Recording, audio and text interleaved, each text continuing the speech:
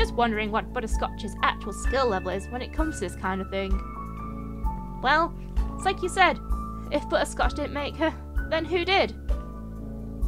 She seems to listen to you. Do you know where I'm going with this? N no? Ask her to tell you who, who a creator is. Since you won't tell me, you're my only hope, dude. Uh, oh, I already asked. When I was training her for work. Now look there. Sorry. Ugh, I'll drag it out of her some way or another. To change the subject, I'm surprised to see you out of the basement during store hours. Was there any particular reason for that? Yeah, I was planning on supervising Gumdrop, working with you, leaving. Um, let's pick supervising Gumdrop. Looking after our new assistant. Hey, Gumdrop.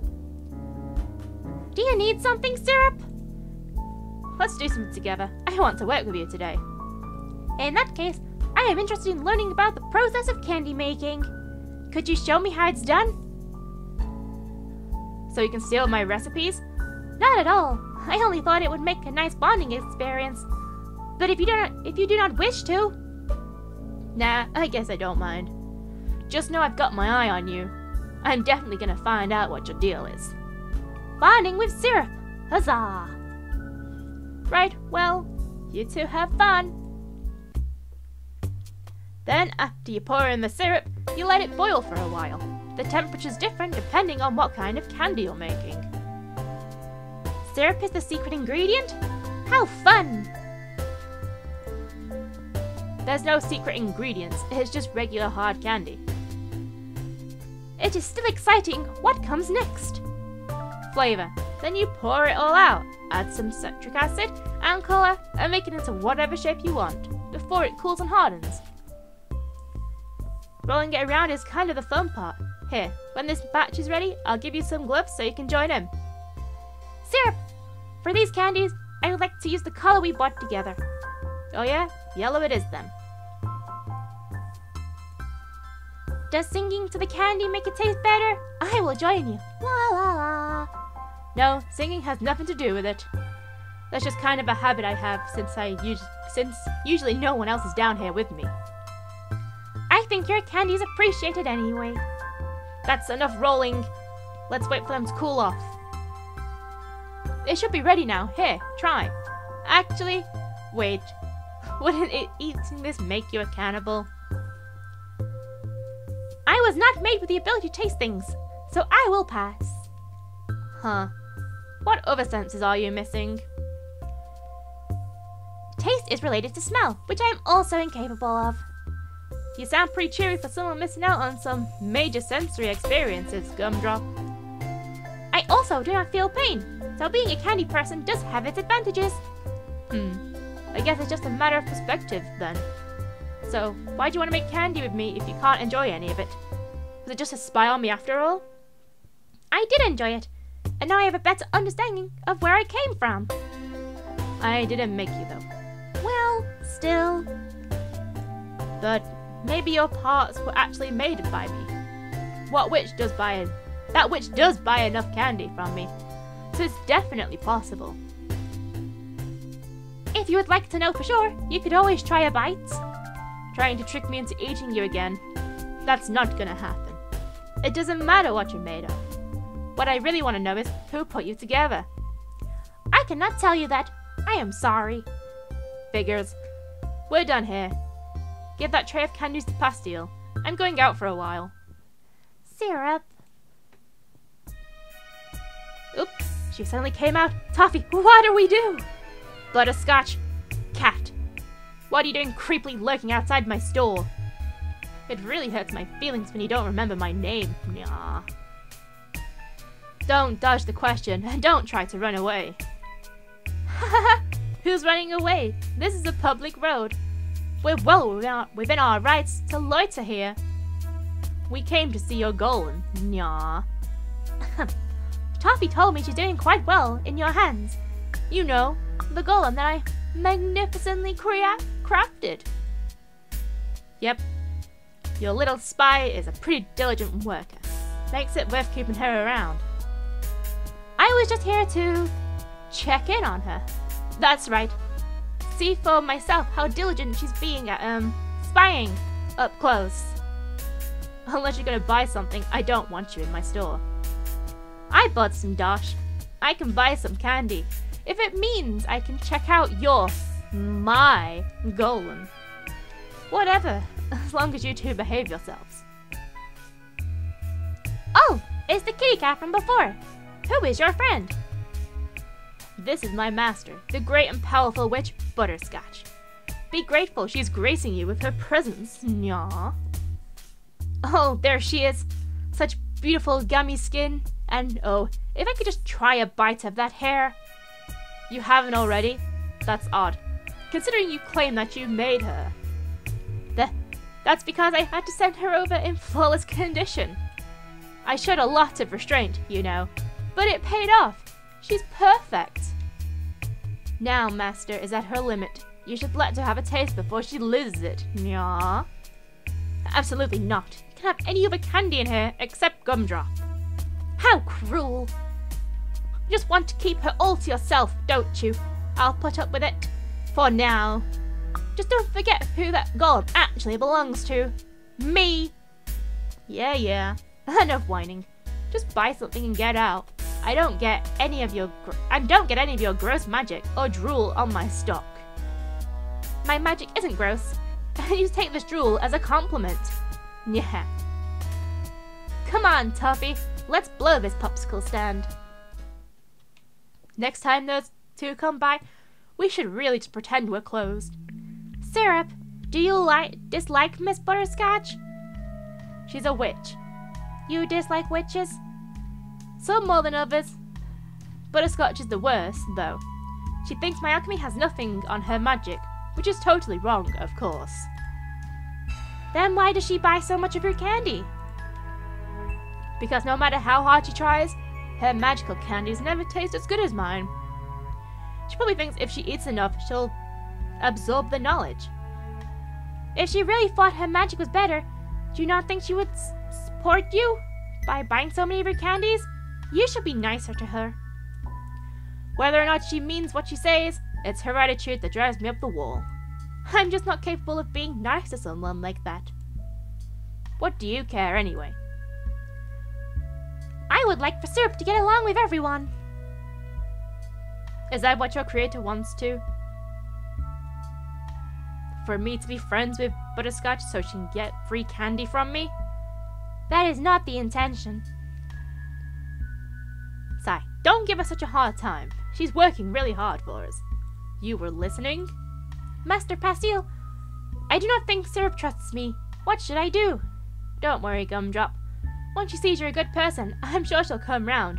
Right, Si? We'll see. The next morning. Gumdrop, what are you doing in my lab? Oh, Syrup! I am organizing your bookshelf. Why? What are you even doing up right now? The store doesn't open for a few other hours. I do not require sleep. Anyway, you shouldn't come down here without permission and start moving my things around. I don't like it. Oh, may I come in and... You already did. But whatever, I guess it's fine. Sir, I have noticed a trend with the books in your personal library. Oh yeah? What's that? They are all very boring. Gee, thanks. Only one book is abnormal. It is the only one with reference to magic. Magic? Throw it out. Wait. Isn't this... Oh yeah, it's an old family cookbook. My grandma wrote it. I am sensing high levels of nostalgia. Syrup's cold heart has been softened by memories from days long past. Yeah, yeah. See this page here? When I was a kid, making this was my dream. The Ultimate Sweet, a legendary confection said to have only been crafted once before by the greatest alchemist in the world. Flavor rating 100 stars. Shelf life eternal. Those who partake in the sweet are blessed with great fortune. Upon consumption, a temporary enlightened state is attained, and you find yourself crying for reasons you cannot place.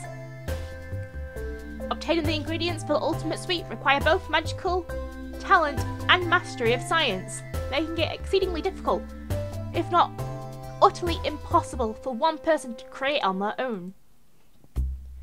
The ultimate sweet? Is it yummy? Only the most delicious thing to ever exist. I used to tell Pastille I was going to make it one day so that he could taste it. But, like the book says, the main ingredient is impossible to find without magic. I guess I kinda gave up on it. Master Pastille wanted to eat this? Yeah, a long time ago. He probably forgot about it by now. Syrup, we should make it! Uh, like I said, I had to give up on it. You can't make it about magic, so I don't want to. But we can ask, um, I mean, a witch can help us. Not happening. You should not give up on your dream. This is our chance to work together and get along even more. You're always going on about that. Are you obsessed with being friends or something? Precisely.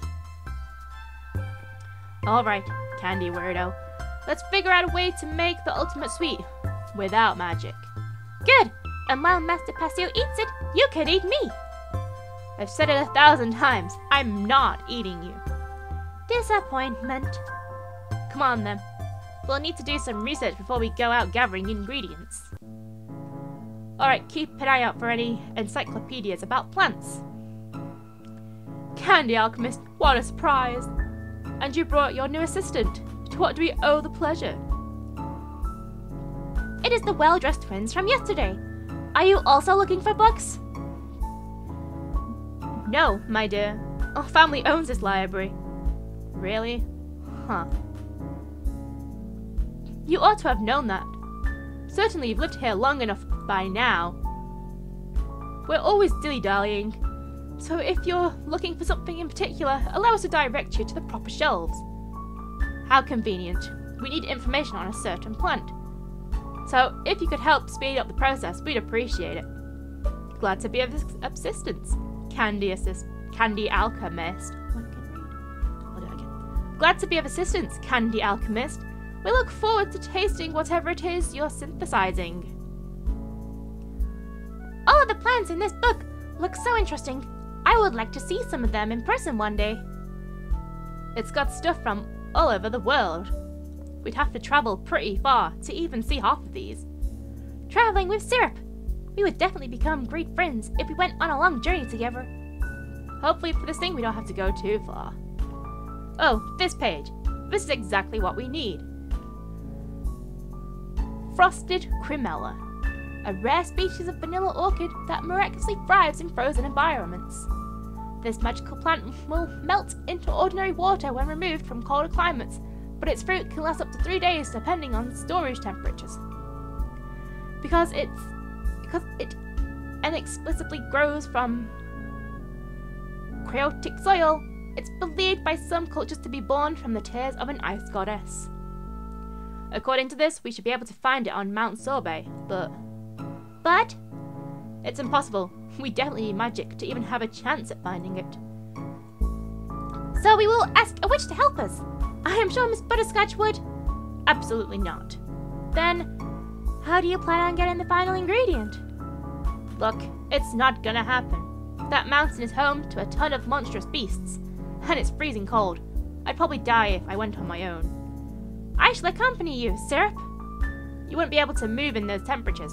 You're made of candy, remember? I'll be fine if you keep me warm. Just put me in your mouth and... Stop. We're not going. Who would ever go to such crazy extents just to make some special dessert? Kind of a waste of effort if you ask me. You're right, Syrup. It is silly. Let's quit. Are you angry? Nope. Master Pastille will not even know that he missed anything. It really was just a waste of time. Gumdrop. Absorbed in thought, Syrup takes her time returning home. Was it worth it to deny her friend what would surely be the most delicious treat in the world, just to hang on to her stubborn pride? She had never thought about it before. Asking a witch for help seemed impossible for a variety of reasons. But soon, she might just have to.